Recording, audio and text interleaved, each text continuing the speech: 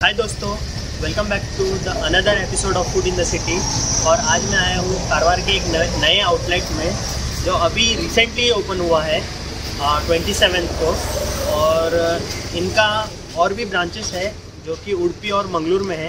ये इनका ninth branch है कारवार में। कारवार वालों आपको एक बहुत बड़ी खुशखबरी है। इसका जो फ़िश थाली, बस थाली थर्टी रुपीज़ का है। थर्टी रुपीज़ को अनलिमिटेड फ़ूड दे रहे हैं अभी। तो चलो देखते हैं कि और रेस्टोरेंट में क्या है और क्या क्या मिलता है और रेट क्या है।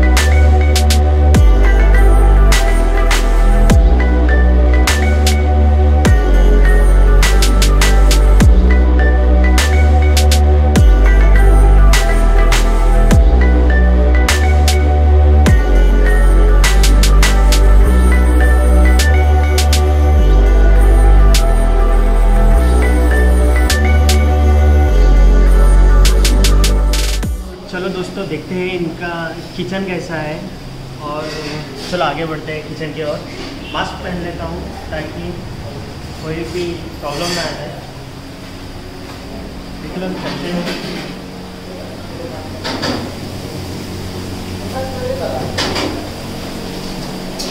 तो दोस्तों, देख सकते हैं आप, इन्होंने पूरा सेफ्टी मेजर्स के साथ कुक मास्क पहन के फेस मास्क पहन के काम कर रहे हैं।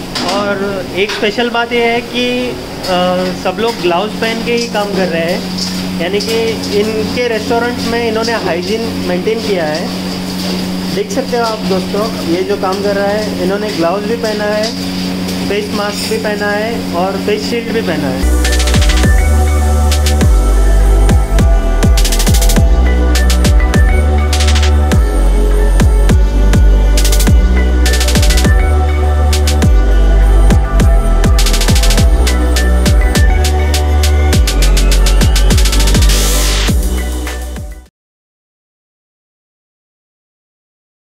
नमस्कार सर। नमस्ते। अ, मेरा नाम राहुल कलगुटकर है। सर आपका नाम? राघवेंद्र कुंदर सर आपका फ़र्स्ट रेस्टोरेंट कहाँ से स्टार्ट हुआ था? सर अ, दो साल पहले हम लोग उड़पी में चालू किया थे। जो उड़पी में चालू कर seafood restaurant fish factory करके नाम से चालू किया। उसके बाद हम लोग उड़पी में वही डिस्ट्रिक्ट में पाँच आउटलेट ओपन किया सी फ़ूड रेस्टोरेंट उसके बाद हम लोग सोली मैंगलोर गए। वो मैंगलोर डिस्ट्रिक्ट में दो आउटलेट ओपन किया। लास्ट ईयर उसके बाद लास्ट ईयर बेलगाम आए। बेलगाम में एक ओपन किया। कुल मिला के आठ उधर ही ओपन होने के बाद कारवार आए। कारवार इज़ फ्रेंचाइजी और आपका speciality is for seafood only हाँ seafood authentic Mangalore seafood है। मैंगलोर हाँ उसमें हमारा तवा फ्राई का बहुत स्पेशल सिग्नेचर डिश है। और घी रोस्ट उसमें फ़िश का घी रोस्ट है और चिकन घी रोस्ट है और मैंगलोर स्टाइल का पूरी रोटी है और पुली मुंची मिलता है और डोसा में नीर डोसा है और कप्पा रोटी करके ओट डोसा करके मिलता है। और ये हम लोग सभी जगह अ, आ, नौ नाइन्थ आउटलाइन सी फ़ूड में भी हमारा एक ही स्टैंडर्ड मेनू है मैंगलोर का। सेम मेन्यू चलता है और सेम सेम क्वालिटी का फ़ूड भी सेम क्वालिटी सेम क्वालिटी वही हमारा मेरा पहली मैं सबको बोल रहा हूँ क्वालिटी आप किधर भी जाके खाए तो यही सेम टू सेम मिलना चाहिए। सर मैंने आपके होटल रेस्टोरेंट के बारे में बहुत सुना था कि कारवार के जो प्रेजेंट कारवार के लोग हैं वो उड़पी और मंगलोर में भी जाके खा के आए हैं। सो सर इसका रीजन तो ये नहीं है कि आप इधर भी फ्रेंचाइजी खोल दिए। एक बात तो वही सही बात आप सही बात बोला आपने। बहुत सारे कस्टमर कारवार से आए थे और बहुत सारा हमारा फेसबुक में मैसेज भी डाले थे, कभी ओपन कर रहे करके। मतलब प्लान है क्या? ओपन कर रहे कि नहीं? प्लान है क्या? करके पूछ रहे थे। देख।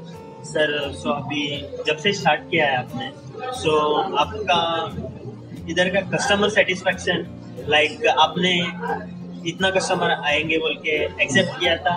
या उससे भी ज़्यादा कस्टमर आए। नहीं फ़िलहाल देखिए हम लोग का जो ग्रैंड ओपनिंग जो करने का था ये। कोरोना ये सब था इसलिए हम लोग ग्रैंड ओपन नहीं किया था। एक्चुअली मेरा तो बहुत सारा कस्टमर का एक्सपेक्टेशन था पहले दिन से ही था। मगर जो पहले दिन में जो आए थे ना ये टाइम में तो मैं बहुत खुश हूँ। क्योंकि सभी से मैं जाके पूछा मेरा मैनेजर ने जाके पूछा मेरा सेल्स हेड ने जाके पूछा बिज़नेस हेड ने जाके पूछा है सभी लोग का जो सेटिस्फैक्टरी आंसर था अच्छा है काम। Yeah. इसको कंटिन्यू करिए। वही मेरे को कंटिन्यू करने को क्योंकि और दो जगह पे चालू करने को वही मोटिवेट करता है। सर और एक खास बात कारोबार की ये है कि कारोबार के लोग हैं ये जो है ना ये फ़िश के दीवान है। हम्म, अगर बोलो कि कल भारत बंद है। हम्म, तो उनका फ़र्स्ट क्वेश्चन ये रहेगा हम्म, कि कल मच्छी मिल रही है या नहीं। They will not ask the reason कि भारत बंद क्यों है? हमारा जो सर्विस और क्वालिटी और क्लीनिनेस ये तीन जगह पे हम लोग एवरी डे एवरी डे हम लोग उसके ऊपर काम कर रहे हैं. क्योंकि उसको मेंटेन किया तो हम लोग कस्टमर से एक्सपेक्ट कर सकते हैं। ये सभी जगह पे वही मेंटेन किया है इधर भी वही मेंटेन कर रहे हैं। आगे के दिन में बहुत सारे कस्टमर को देख आने का देख रहा हूँ। आपके माध्यम के थ्रू से। सर ज़रूर आएँगे हाँ। Sir thank you sir thank you thank you आपसे बात करके बहुत आ, मज़ा आया। हाँ। और देखते हैं कि टेस्ट करते हैं आपके फ़ूड का।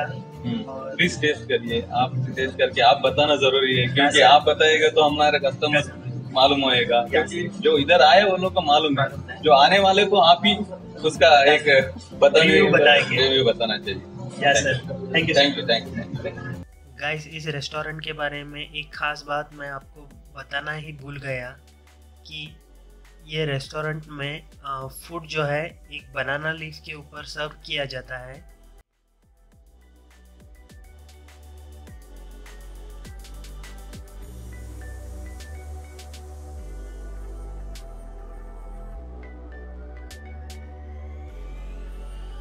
तो चलो दोस्तों, देखते हैं हमारे बनाना लीफ में क्या क्या है।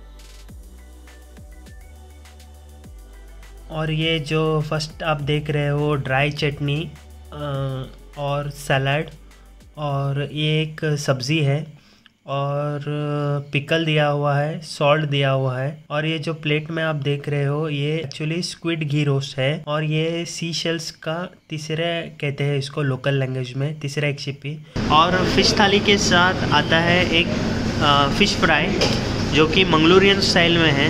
ये जो राइस आप देख रहे हो यहाँ पर रेड बॉइल्ड राइस कहते हैं इसको, और इसके ऊपर इन्होंने फ़िश करी डाली है। खाना तो लाजवाब है, और इनका जो ये है ना सीशल्स वाला जो तीसरा एक शिपी कहते हैं, ये तो एक नंबर क्लासिक है। और इसमें जो स्पाइसेस वगैरह, मसाला इन्होंने डाला है, जो मंगलूर का स्टाइल है, वो एक नंबर है।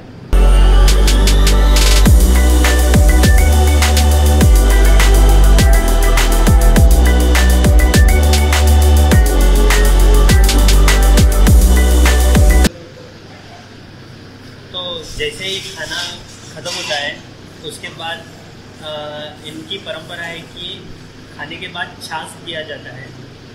लोकल लैंग्वेज में और कन्नड़ा में इसको मज्जिगे बोलते हैं।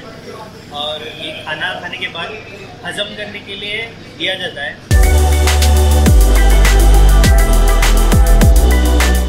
दोस्तों, खाना एकदम बढ़िया था और मैं सजेस्ट करूँगा कि आपको इस प्लेस में ज़रूर आना चाहिए। एक बार तो ट्राई करो। अगर ये वीडियो अच्छा लगा तो इस वीडियो को लाइक करो और अपने फ्रेंड्स के साथ शेयर करो। और अगर ऑलरेडी आप इस जगह पे आए हो तो आपका फेवरेट डिश कौन सा है, वो कमेंट सेक्शन में ज़रूर बता देना। और चैनल पे नए हो तो सब्सक्राइब ज़रूर करना। अगर चैनल पे नए हो तो पुराने वीडियोस भी देख लेना।